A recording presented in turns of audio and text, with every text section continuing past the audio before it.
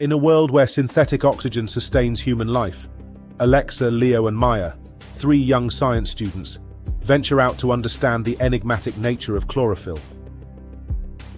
Alexa, Leo and Maya immerse themselves in their research, diligently studying the properties and importance of chlorophyll.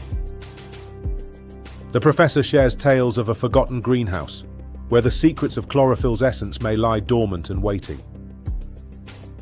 With hearts pounding, the students gaze at the dilapidated structure, anticipation brewing in their eyes. Step by step, the students delve into a fascinating world frozen in time, seeking the hidden knowledge of chlorophyll. An inadvertent mishap occurs, as Alexa's trembling hand inadvertently introduces an unknown substance to the dormant plant. The students watch in awe as the plant comes to life, fueled by the mysterious green liquid and bursting forth with vitality. Overwhelmed by the staggering amount of oxygen released by the plant, the students become acutely aware of the potential danger it possesses.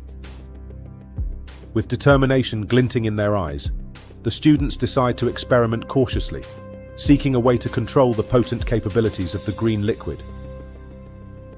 Panic fills the air as their experiment takes an unexpected turn, creating a mixture far more explosive than anticipated. With time ticking away, the students meticulously strive to neutralize the volatile nature of the mixture, risking everything to prevent catastrophe.